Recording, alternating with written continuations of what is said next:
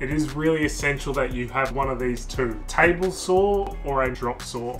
These things are going to be cutting the bulk of your timber. You're going to need to be able to cut that kind of flat panel wood. So with a skill saw, you can make these really nice straight cuts. You can build yourself a really easy straight edge, which allows you to track a nice straight cut. Power drills, cordless drill and a impact driver. So a drill will really let you to drill most things. An impact driver is great using it with a socket, a jigsaw. These things are great. A lot of your van isn't straight. They'll cut a lot of different material, wood, metal, aluminium, in all different directions, diagonals, you name it. You're gonna need to be cutting some metal. That's why an angle grinder is an essential tool. Something that a jigsaw with a metal bit won't be able to reach or can't do, an angle grinder might be able to reach. You're gonna wanna do some sanding. And because hand sanding sucks, you're gonna want a power sander.